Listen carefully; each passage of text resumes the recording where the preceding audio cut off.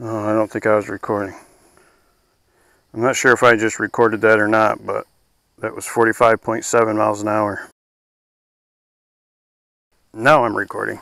And that's a nine tooth sprocket up there. The only difference is now I got a header and an air cleaner. Governor's still on there and I went 45.7. So basically 46 miles an hour. I'm going to do it again just in case I didn't get it the first time. Reset counters.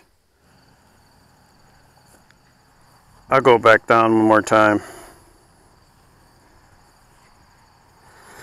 Just put this in my backpack. Okay, let me see if I can. Now these tires are at like five, five and a half in the front, five in the rear, so they're very soft.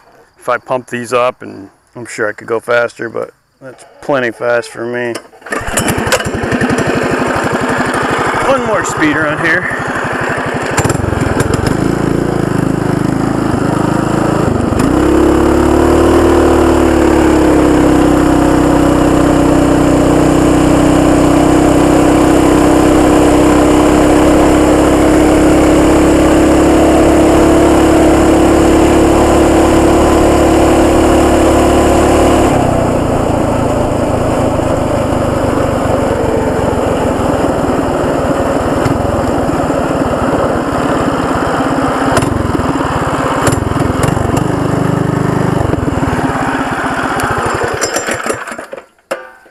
Not sure if that was as fast as the last one or not.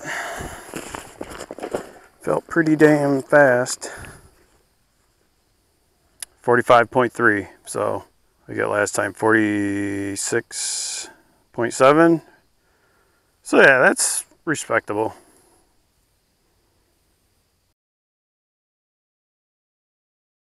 Fast enough. Plus it's geared lower, so gearing it lower actually gave me well, I don't know. I'd have to put on a 10 tooth, put a 10 tooth back on there and try it again with the same upgrades and see what happens. Because yeah, I don't think I'm, I don't think I'm hitting my RPM limit. I think I am just hitting the power limit. And that kind of makes sense at that speed. If I pumped up the tires to 10 pounds or more, I'm sure I could get 50. But I don't, I don't know. That's pretty fast for something with no suspension.